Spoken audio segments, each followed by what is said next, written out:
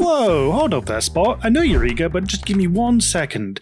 I just wanted to mention I have a website where you can follow along in text format. You can even get links back to the video content here on YouTube.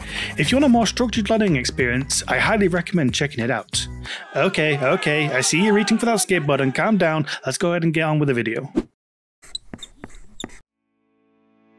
Alrighty, so the first thing you're going to need to do is actually go get Obsidian. So let's go ahead and Google search Obsidian and then we're going to move over into the actual Obsidian website, or we could actually click the download button here as a shortcut.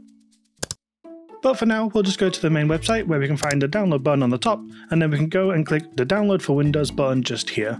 Alternatively, we can actually scroll down a little bit further and get alternative downloads for things like your Mac, Linux, and other apps. But for this tutorial, we're mainly going to be looking at the Windows installation. I'm going to go ahead and install this for me. However, this installation process can differ per person, but just essentially make sure you install it in a sensible place. From there, we're going to open up Obsidian, where we're going to be prompted to create a new vault. So let's go ahead and do that.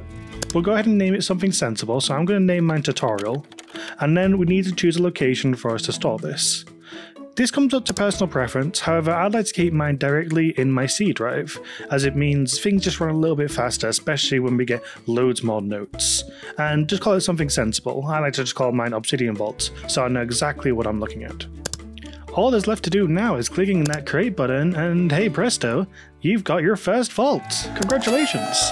You've taken your first steps into getting into Obsidian. I'm proud of you. Next lesson, we're going to go ahead and start going over what everything does in Obsidian and getting you up to scratch with everything.